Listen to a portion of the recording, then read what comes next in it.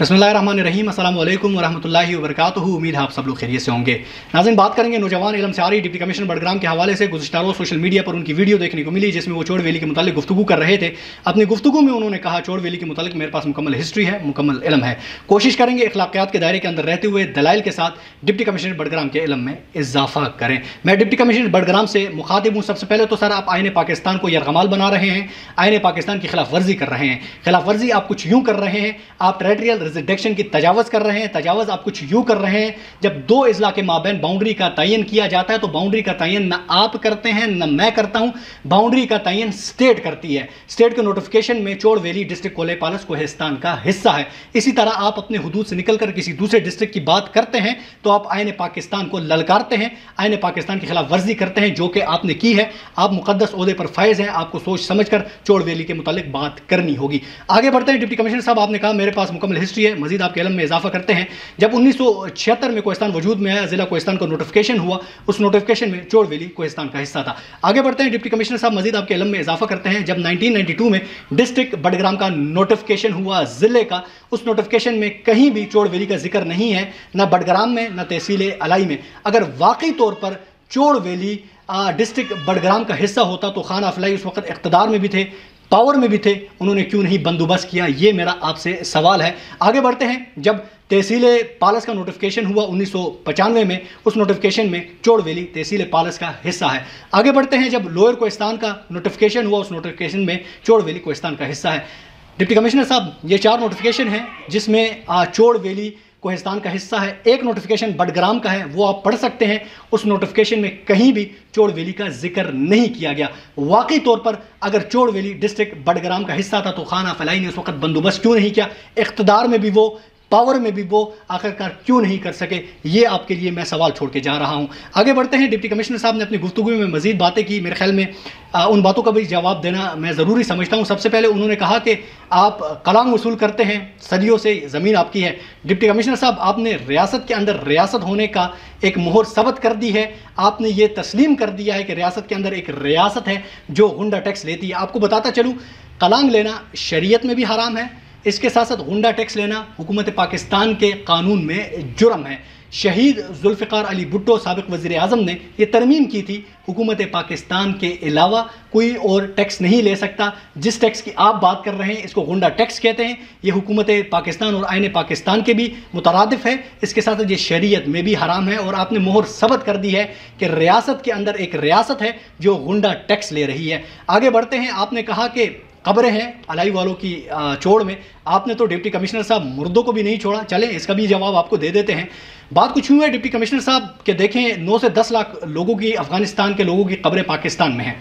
क्या अफ़गानिस्तान के लोग ये दावा करेंगे कि पाकिस्तान अफ़गानिस्तान का हिस्सा है, नहीं कर सकते। इसी तरह अलाई के बहुत सारे लोग माइग्रेट होकर कराची, लाहौर, पाकिस्तान के दीगर शहरों में फैले हुए हैं। क्या वो ये दावा करेंगे कराची में हमारी इतनी खबरें हैं? कराची अलाई का हिस्सा है, नहीं कर सकते। इस बात को आपको समझने की ज़रूरत है, डिप्टी कमिश्नर साहब। आगे चलते हैं, डिप्टी कमिश्नर साहब को किसी ने डिस इन्फॉर्मेशन दी है शरीय के हवाले से। डिप्टी कमिश्नर साहब, आपके इलम में इजाफा करता चलूँ। ये शरीयत हुई थी उन्नीस सौ अस्सी में। कमिश्नर हज़ारा के जेर निगरानी में फैसला अकोड़ा खटक भेजा गया। अकोड़ा खटक से ये फैसला आया कि चोड़ वेली डिस्ट्रिक्ट कोले पालस कोहिस्तान का हिस्सा है शरी फैसला था। अच्छा मैं आपको बताता चलूँ, अगर आप कहेंगे कि फैसला कहाँ है? रिकॉर्ड कहाँ से मिलेगा? चौदह हज़ार सात सौ उनचास नोटिफिकेशन का नंबर है रजिस्टर नंबर चार। आज भी आप अकोड़ा खटक में जाएँगे तो आपको ओरिजिनल रिकॉर्ड मिल जाएगा। तो डिप्टी कमिश्नर साहब, आप कहते हैं कि मेरे पास मुकम्मल इलम है तो आपके पास इलम क्या है? फिर आपने कहा कि डिप्टी कमिश्नर कोले पालस तंग है, वो ज़िला ख़त्म करना चाह रहा है। आप अजीब बातें कर रहे हैं। डिप्टी कमिश्नर कोले पालस तारे खान साहब की जितनी तारीफ़ की जाए कम है, क्योंकि अभी तक जिस तरह कोले पालस की आवाम आवाम को उन्होंने डील किया है, इश्तियाल अंगेज़ी से बचाया वो वो काबिल तारीफ़ भी हैं और उनके लिए बेस्ट विशेज़ भी हैं। जिस तरह वो अभी तक डील कर रहे हैं, क्योंकि तमाम तर चीज़ें हमारे सामने हैं। इसी तरह आपने कहा कि डी पी ओ कोले पालस की गलती है, उनसे कमज़ोरी हुई है कि उन्होंने लोग जाने दिए। बात ऐसी नहीं है, डिप्टी कमिश्नर साहब, बात ऐसी है कि देखिए, मैं आपको एक एग्ज़ाम्पल दूँ। बालाकोट में हमारे हरीफ भारत ने आके वहाँ हमारे तीन चार दरख्त गिराए। बदले में क्या किया? हमने दो उनके जहाज़ गिराए। इसी तरह तहसील अलाई के जो गुंडे हैं, वो मोर्चजन हुए थे जाकर चोड़ वैली के मुख्तलिफ़ इलाकों में अपने डिफेंस के लिए यहाँ से लोग गए हैं। तो क्या इसमें कौन सी गलत बात है? ठीक है, अगर आप कहते हैं वहाँ से लोग हटाएँ, यहाँ से ये लोग भी हट जाएँगे। दूसरी बात आगे मैं आपको डिप्टी कमिश्नर साहब बताता चलूँ। आप कहते हैं कि मुझे सब कुछ पता है, आपके तो बीस दिन हुए हैं। मैं बताता चलूँ आपके डिस्ट्रिक्ट में क्या हुआ है। आपके डिस्ट्रिक्ट में मस्जिद में यह ऐलान हुआ कि चोड़ वैली के लिए तैयार हो जाएँ चोड़ वैली में जंग हो रही है। मैं आपको बताता चलूँ, डिप्टी कमिश्नर साहब, आपके डिस्ट्रिक्ट में गले मैदान में एक मजदूर मेहनत कश बंदे के होटल को असले के ज़ोर पर गुंडों ने गिराया है। आप कहाँ थे डिप्टी कमिश्नर साहब? इस हवाले से आप एक्शन लें।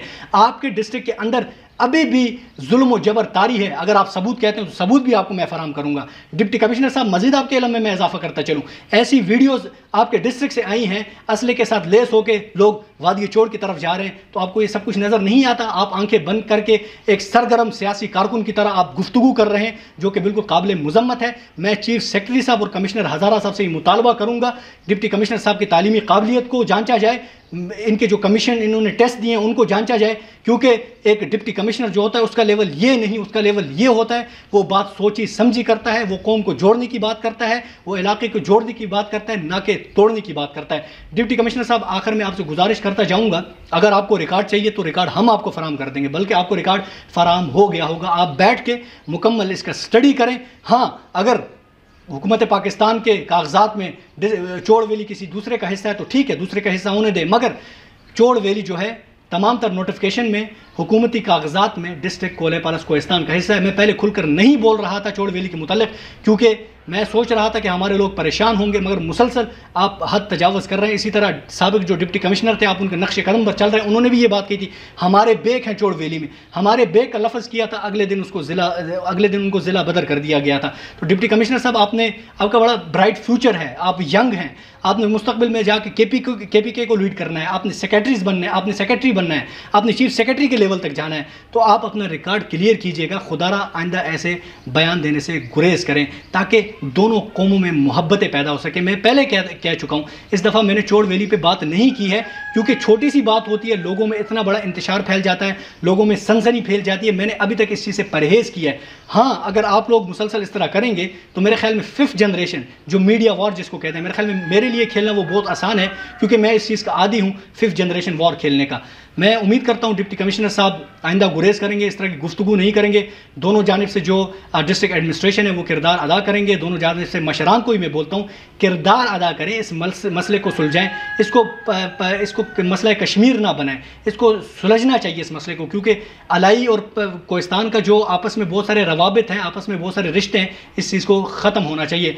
एंड में डिप्टी कमिश्नर कोले पालस तारे खान साहब को खराज तहसीन पेश करता हूँ जिस तरह अभी तक उन्होंने कोले पालस के लोगों को डील किया है खराज तहसीन के मुस्तक हैं।